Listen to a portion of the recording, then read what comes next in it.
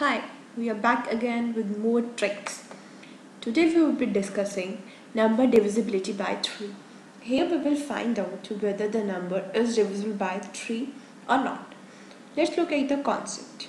The concept of this trick is to check the sum of the digits and see whether the result of the sum of the digits is divisible by 3 or not.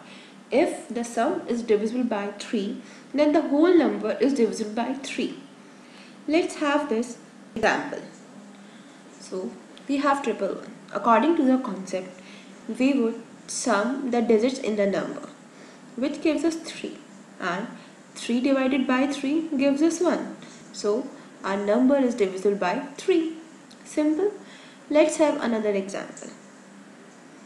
Let's check 3, 2, 5, 7, 8, 1, 1.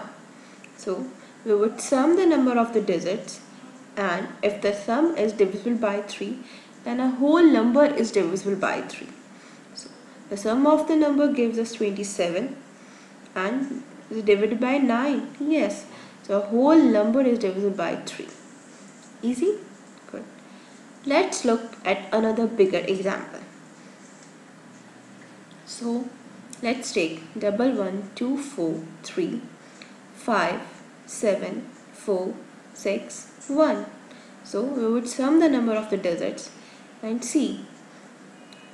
So the sum constitutes to 34 and we know 34 is not divided by 3. So our whole number is not divided by 3. In this way you can simply find out different tricks.